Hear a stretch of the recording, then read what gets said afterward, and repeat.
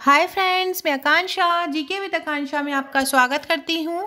आज हम MPPSC mains के लिए भूगोल के थ्री मार्कर प्रश्न करने वाले हैं। करीब आठ से दस प्रश्न हम इसको करेंगे सॉल्व कैसे हमको लिखना है? अगर आपको 2019 के अकॉर्डिंग लिखना है तो आप इसमें थ्री पॉइंट लिख दीजिएगा फोर पॉइंट लिख दीजिएगा, लेकिन अगर अपन आपको 2020 के अकॉर्डिंग लिखना है तो आप दो पॉइंट लिख दीजिएगा। तो इस प्रकार से आप दो हज़ार उन्नीस और दो हज़ार बीस में इतना ज़्यादा कंफ्यूज मत होइएगा कि देखिए कुछ टॉपिक चेंज ज़रूर हुए हैं मतलब इंक्लूड ज़रूर हुए हैं लेकिन आपको आ, कहीं ना कहीं से वो मिलते जुलते हैं भले ही वो एथिक्स का हो या दूसरे सब्जेक्ट का हो। आ, हम इसका M B B S C mains दो हज़ार बीस का सिलेबस भी एक बार अच्छे से पढ़ लेंगे तो ताकि हमको समझ में आ जाएगा कि क्या क्या चेंज होना है। तो चलिए अभी हम स्टार्ट करते हैं पहली बार मेरे चैनल पे हैं तो चैनल को सब्सक्राइब ज़रूर कर दीजिएगा। पहला क्वेश्चन है ये वन हंड्रेड ट्वेल्व इसलिए लिखा हुआ है क्योंकि ये मेरे नोट्स हैं जो आप आ, को मैं आप लोगों के लिए मैंने बनाया हुआ है। जिसे आप परचेज़ कर सकते हैं इसकी प्राइस नाइन्टी रुपीज़ है। जिसमें ये सभी क्वेश्चन हैं ये वही उन्हीं नोट्स में से मैं आपको पढ़ाती हूँ सभी हैंड रिटर्न है। करेबा क्या है? तो कश्मीर की झील की तली में जमे हुए निक्षेप जो पर्वत निर्माणकारी हलचलों के कारण ऊपर उठ गए। उनको करेबा कहा जाता है। ये करेबा, ये हमारे एम में भी एक क्वेश्चन आया था, करेबा कहाँ पे होते हैं? तो कश्मीर में है। कश्मीर की झील की तली में जमे हुए निक्षेप हैं जो पर्वत निर्माणकारी हलचलों के कारण ऊपर उठ गए हैं।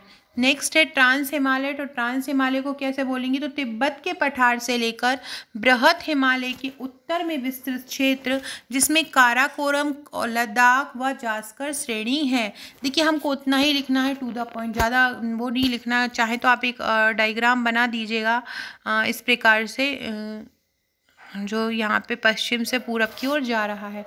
तो ये ट्रांस हिमालय हो गया। नेक्स्ट क्वेश्चन है आपका, घूर्णन या दैनिक गति से आप क्या समझते हैं? तो पृथ्वी प्रतिदिन पश्चिम से पूरब की ओर घूमती है, जिसके कारण दिन और रात होते हैं।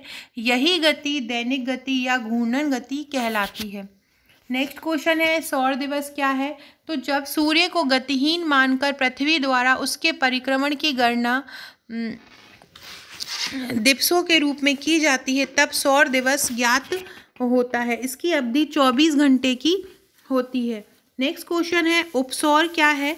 तो पृथ्वी जब सूर्य के बहुत पास होती है, उसे उपसौर कहते हैं। ऐसी स्थिति तीन जनवरी को होती है। नेक्स्ट क्वेश्चन है अपसौर से आप क्या समझते हैं? तो पृथ्वी जब सूर्य से अधिकतम दूरी पर होती है तो उसे अपसौर कहते हैं। ऐसी स्थिति चार जुलाई को होती है। नेक्स्ट क्वेश्चन है, सिजगी क्या है? जब सूर्य, चंद्रमा और पृथ्वी एक ही सीध रेखा में होते हैं तो सम्मिलित शक्ति के फलस्वरूप दीर्घ ज्वार का अनुभव किया जाता है। यह स्थिति सिजगी कहलाती है।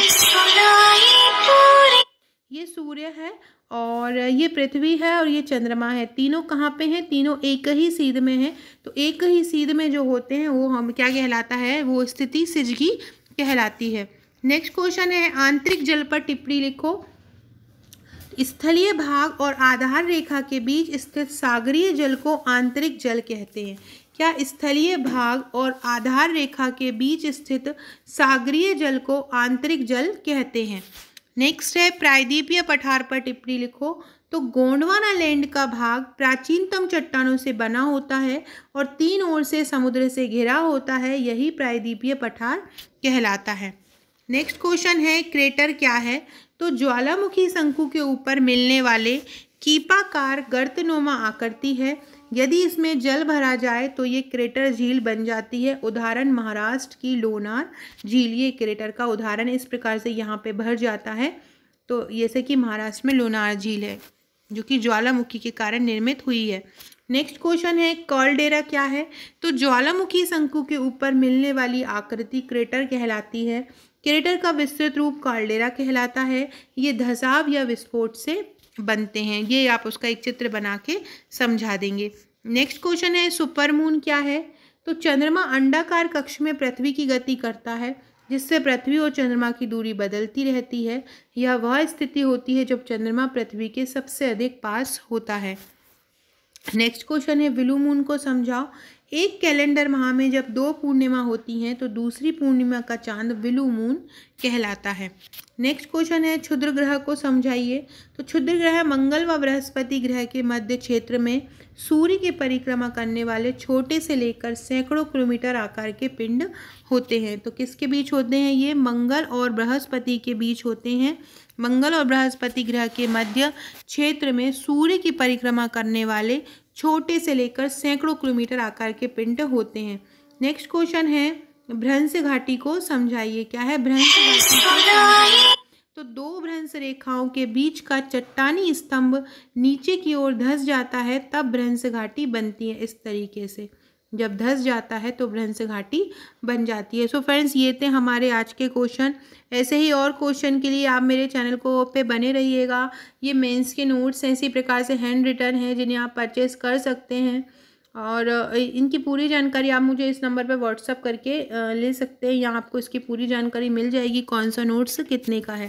वीडियो अच्छा लगे तो प्लीज़ लाइक कीजिएगा और शेयर कीजिएगा और चैनल को सब्सक्राइब कीजिएगा। और टेलीग्राम या व्हाट्सएप ग्रुप से जुड़ने के लिए आप डिस्क्रिप्शन में दी हुई लिंक से देख सकते हैं। वहाँ से आपको लिंक मिल जाएगा और व्हाट्सएप और टेलीग्राम ग्रुप से जुड़ सकते हैं, जहाँ आपको इसका पीडीएफ मिल जाएगा। Okay friend thank you